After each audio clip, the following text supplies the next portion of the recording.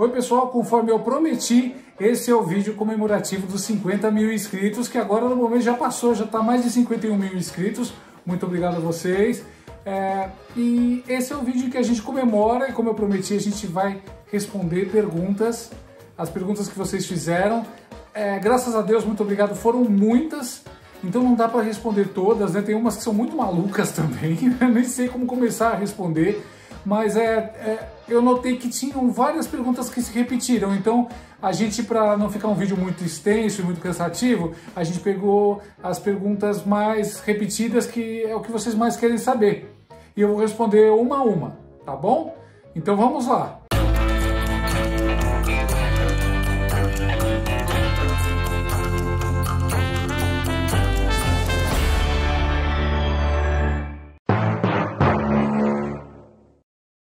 Ah, bom, eu sou publicitário. É, originalmente, né, quando eu comecei na publicidade, eu tinha 21 anos, eu era estagiário. Minha primeira, é, meu primeiro emprego foi numa rádio em Santo André, uma rádio que tocava rock. Ah, hoje ela é a Energia 97 FM de São Paulo, muita gente conhece. Mas na época ela era 97 FM de Santo André, uma rádio de rock e para mim foi maravilhoso porque era algo que eu gostava muito. Eu criava as vinhetas, criava as promoções, é, aproveitava. Só que aí o pessoal percebeu que eu gostava muito de música, que eu era uma enciclopédia ambulante de rock e começou a me chamar para eu ajudar também é, é, com a programação da rádio. Até que chegou um momento que eu terminei a faculdade e o, o, um dos programadores da rádio perguntou se eu não queria ser também um programador. Aí eu notei que isso não ia ter nada a ver com publicidade que eu estudei e saí e comecei a trabalhar em agências de propaganda. Trabalhei por muito tempo em agências de propaganda, é, primeiro como redator, né, criativo, e mais tarde eu subi de cargo e me tornei um diretor de criação. Né? Meus últimos 10 anos em agências de propaganda foi como diretor de criação. Paralelo a esse meu trabalho de é, diretor de criação barra redator publicitário, eu também dava aulas duas vezes por semana numa faculdade, a FAAP. Foi bem legal, foi bem divertido, deu para exercitar bastante a veia criativa e eu sinto saudades, é uma época muito boa. Hoje em dia eu trabalho ainda com criação, mas mais focado com é, marketing digital, com redes sociais, com social é, e também é, com é, gerenciamento de crise. Né? É muito divertido, é uma correria, mas é muito legal. Se eu vou me candidatar, olha, eu sei que assistindo os meus vídeos dá para ter assim uma, uma imagem minha de que eu sou meio louco. E talvez eu seja meio louco sim, mas eu não sou tão louco a ponto de me candidatar. Eu sei o que esses caras sofrem, eu sei o que principalmente um, um, um, um político de direita sofre, né, como ele é perseguido tanto pela mídia quanto pela, uh, pelo pessoal de esquerda, né, é, o tempo todo sendo judicializado, perseguido. Não é para mim, eu já, eu já cheguei a pensar nisso há mais de um ano, né, quando algumas pessoas ligadas à política me chamaram né, e falaram que poderia ser uma boa ideia. Eu pensei nessa possibilidade, mas é, passando mais tempo observando, estudando, conversando com as pessoas próximas a mim, eu cheguei à conclusão de que política não é para mim. Que eu faço muito mais estrago falando besteira na internet, provocando os esquerdistas na internet, do que eu poderia fazer é, sendo um político. Eu não parece, mas eu sou muito ingênuo. Eu sou fácil de ser passado para trás. Os políticos iam me atropelar. Lugares e países em que eu já fui? Bom, é, eu a princípio o, o, primeiro lugar, é, o mais importante para mim é o Reino Unido. Né? Eu morei alguns tempos, eu morei bastante tempo em Londres e depois um pouquinho menos de tempo no país de Gales. É, eu gosto muito da Inglaterra, do país de Gales, da, da Escócia, onde eu fiquei também um tempinho.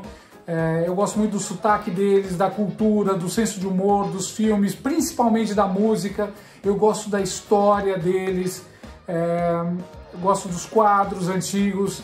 É, tudo me atrai no Reino Unido, o senso de humor, todo o jeitão deles, eles são muito criativos, né? Tanto é que a melhor propaganda do mundo para mim é a britânica, né? Principalmente a da Inglaterra literatura também, tudo, tudo deles me atrai muito, eu gosto demais. É, enquanto eu morava em Londres, eu viajei muito pela Europa, então eu tive a oportunidade de conhecer muita coisa, né? Então eu já fui para a Grécia, já fui para a Itália, que é a terra dos meus antepassados. Na Itália eu fiquei em Roma, em Firenze, é, em Veneza, é, nos países, na, na, nos, nos, nas cidades é, da Costa Amalfitana, que é na, no litoral sul, fui para Sicília. Também fui para Madrid, fui para Barcelona, na Espanha, né, e algumas outras cidades menores medievais, tipo Salamanca.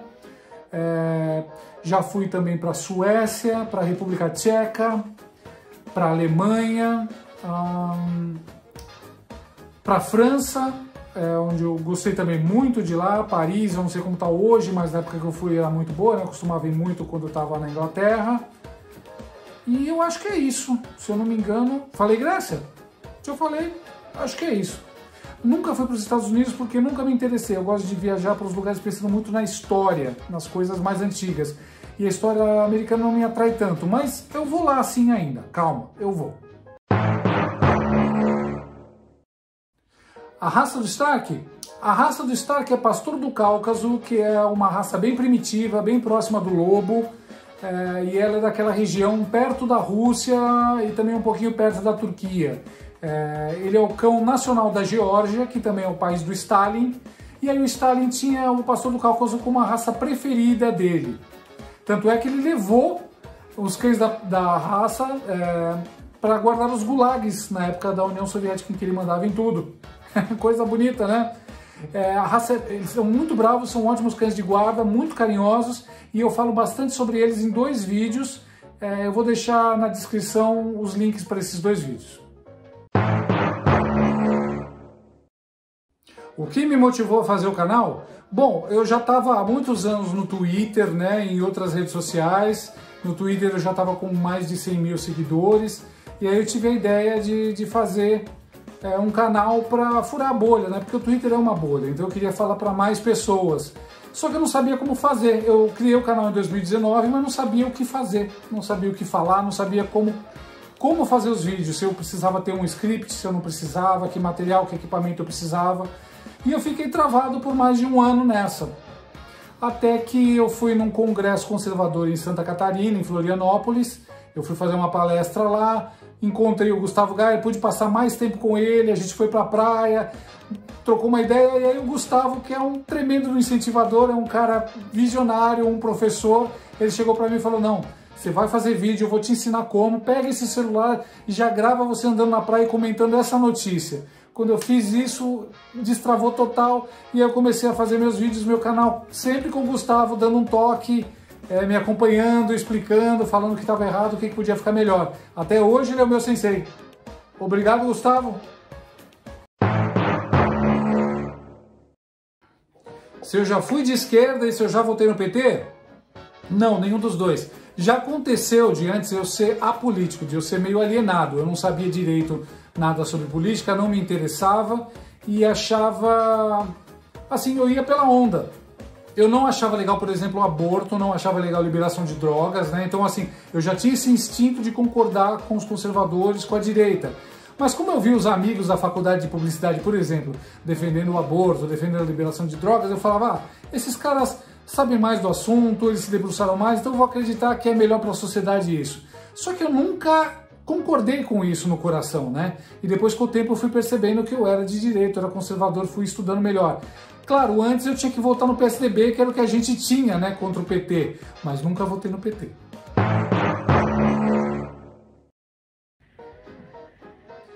Qual o meu gosto para músicas e filmes? Ah, eu sou, em primeiro lugar, um cinéfilo inveterado. Adoro filmes das antigas, filmes mais recentes. Por exemplo, o meu diretor favorito vivo atualmente é o Martin Scorsese. Meu filme favorito de todos os tempos é um filme dele, Os Bons Companheiros, que eu tenho um quadro aqui atrás. Também adoro Taxi Driver, é, Toro Indomável, O Lobo de Wall Street, eu acho fantástico. É, também gosto muito do Coppola, né? Como Poderoso Chefão 1 e 2. É, o Apocalipse Now é fantástico. Eu gosto até do Drácula de Bram Stoker de 92. Eu acho o melhor filme de vampiros já feito porque ele usa efeitos até da época do, do livro Drácula, né, do final do século XIX, efeitos de mágicos. Você pode ver que o filme tem muito truque de é, espelhos, fumaças, isso é fantástico. Alguns truques bem do início do cinema também, que foi criado naquela época pelos Lumière. Eu gosto é, também muito do Lawrence da Arábia, é o meu segundo filme favorito. Do Stanley Kubrick, tem o Laranja Mecânica. Eu adoro os filmes mais recentes, né, é, como do, os do Christopher Nolan, né? A trilogia do Cavaleiro das Trevas do Batman. Eu, inclusive, estou muito animado para ver esse filme novo do Batman, que vai estrear em breve. E gosto também de vários filmes da Marvel. Meu personagem preferido lá na Marvel é o Thor, porque ele é engraçado. Eu gosto do, Capitão América e do Homem de Ferro também. É... Então, basicamente, eu gosto muito de filmes de máfia, filmes policiais, filmes de ficção científica e, e, filmes baseados em heróis e histórias em quadrinhos, que é o que eu lia quando era adolescente, Marvel e DC. Gosto também das comédias do Monty Python. Eu acho fantástico. O Monty Python é um grupo inglês de humor que, se você não viu, você tem que ver. E gosto também muito dos filmes do Billy Wilder, tipo o Crepúsculo dos Deuses, Quanto Mais Quente Melhor, O Apartamento, né, se meu apartamento falasse. Por favor, conheça o trabalho do Billy Wilder, ele é um diretor fantástico e ele escrevia roteiros maravilhosos também. Agora, quanto à música, eu gosto do rock. Eu gosto do rock de todos os tempos, mas minha preferência é pelo rock britânico. Eu gosto muito é, de Beatles, Stones, gosto do David Bowie, Led Zeppelin, o Queen, aquele glam rock dos anos 70, T-Rex, Sweet. Eu gosto muito também do Clash. Gosto das bandas do pós-punk britânicas, tipo Echo and the Bunnymen, The Cure, U2, que não é britânico, mas você entendeu, é perto, Smiths. É, e meu estilo favorito dentro do rock é o Britpop. Minha banda favorita de todos os tempos é o Manic Street Preachers, que mistura glam rock com punk rock. Gosto do Blur, gosto do Oasis, Radiohead, Pulp e Suede, eu adoro, pouca gente conhece, mas lembra muito David Bowie dos anos 70. Qual a minha religião? Eu sou cristão, católico, apostólico, romano, é, desde criança, desde o jardim da infância, eu estudei em colégio de freiras, depois é, eu estudei num colégio chamado Colégio Virgem Poderosa, freiras mesmo com hábito, claustro, tudo. E depois eu estudei no Regina Mundi, o colegial, que também é um colégio de freiras aqui de São Paulo. Então eu sempre tive, sempre tive muito próximo de estudo, é, ir à missa, fazer a comunhão, fazer tudo isso. É, cheguei aos 11, não, aos 10 anos de idade eu cheguei a escrever um resumo sobre a vida de São Vicente de Paula, que foi lido é, na igreja, numa missa, deixa muito orgulhoso, com apenas 10 anos. É, mas eu, eu acredito que somos todos cristãos, eu não gosto dessa divisão evangélicos e católicos, eu acho que somos todos cristãos, somos irmãos, nós é, estamos aí defendendo a mesma coisa e sendo atacados pelos mesmos inimigos. O que houve com meu dedo? Bom, uh, ele está bem, em primeiro lugar ele está bem, funciona, etc, etc. Mas é, é um assunto meio delicado porque tem alguém aqui que é responsável, não vou falar quem, pelo estado do meu dedo. É, o meu dedo foi mordido pelo Stark e, claro, é um cachorro que foi criado para matar ursos e lobos. Imagino que ele fez com o meu dedo. Ele destruiu o meu dedo ele mordeu sem querer, tadinho. Ele estava no meio de uma briga e eu estava salvando a vida do cachorro que ele estava praticamente matando. É uma longa história. Dá um vídeo só para falar dessa história. Quando vocês, se vocês quiserem, eu faço um vídeo falando sobre isso. Mas no final foi um final feliz. O meu dedo foi é, reconstruído, recuperado, só que ele está muito sensível. É, eu encosto e eu levo choque. Ele está muito sensível. Então, é, com o tempo, ele vai melhorar, mas por enquanto ele precisa dessa proteçãozinha, assim, um band-aid para proteger. Engraçado que alguém perguntou aqui como se eu fosse professor, achava que eu tinha a profissão de professor, mas é, na verdade eu já fui professor. É, paralelo ao meu trabalho de publicitário é, numa agência, eu fui é, professor é, do quinto semestre de publicidade e propaganda da FAAP, é, em São Paulo, perto de Genópolis, essa faculdade. Então eu dei aula para. É, de 2009 a 2014, durante cinco anos eu dei aula para essa turma, assim, sempre o quinto semestre, era bem divertido, eu, é, era aula de criação e redação publicitária, então era muito divertido, eu estimulava as pessoas atrás, é, é, atrás é, da criação, porque muita gente acha que, que ser criativo é um dom, e não, é que nem musculação, você trabalhando, usando todo dia a sua criatividade, você vai se tornar uma pessoa criativa, e é isso que eu queria estimular em todos os meus alunos. As cidades e estados no Brasil que eu conheço, puxa, tem muitos, né? É, mas assim, de bate pronto, eu me lembro assim, eu vou muito para Santa Catarina, né? Balneário Camboriú, Florianópolis, já fui para para Brusque, para Blumenau, é, para Mafra, em Santa Catarina. Paraná eu conheço algumas cidades, é, Rio Grande do Sul eu conheço Porto Alegre e Sapiranga, Sapiranga, acho que é Sapiranga. Canoas também um pouquinho, eu conheci.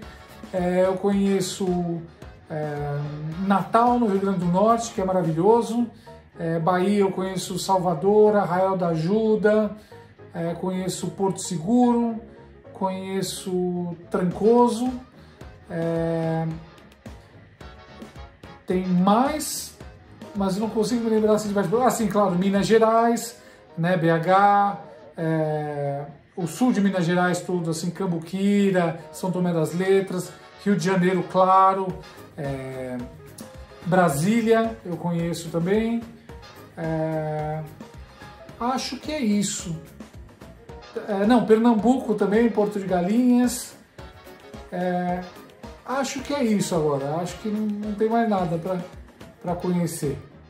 Hã? Maceió. Maceió, é verdade, eu fui para Maceió também. É isso. É, como eu disse, tinha muitas perguntas, algumas que eu não sabia nem como começar a responder, então eu, eu, a gente resolveu pegar as que eram mais repetidas, que eu via que era a maior curiosidade de vocês. Mas é, tem um aqui que muita gente perguntou sobre os anos 60, eu não entendi direito por que isso, mas é, o que eu posso falar sobre os anos 60?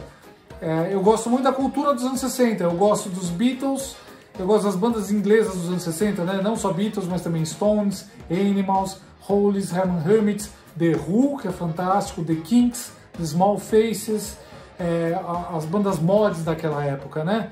É, também gosto é, de alguns, é, assim, o, o, meu segundo filme preferido foi feito nos anos 60, que é Lawrence da Arábia. Eu gosto muito é, também de uma série que se passa nos anos 60, que é Mad Men, né? dá pra ver também pelo pôster aqui. É, são publicitários nos anos 60. Acho que foi uma época muito importante, é claro é, que fez a humanidade puxar um pouco mais para a contracultura, para a mentalidade revolucionária, etc. Mas também descontando isso, teve o rock muito bom, teve música, teve cultura muito boa, teve os filmes do James Bond, que eu adoro, com o Sean Connery, né? foi o auge do, do James Bond. É, From Russia with Love é um dos meus filmes favoritos do James Bond. É, então, anos 60 teve muita coisa legal. Eu ainda não era nascido, mas eu pude acompanhar bem, culturalmente. Valeu, galera! Esse foi o vídeo de 50 mil. Nos vemos de novo no vídeo de 100 mil, se o Putin não acabar com o mundo antes. Na verdade, está aqui.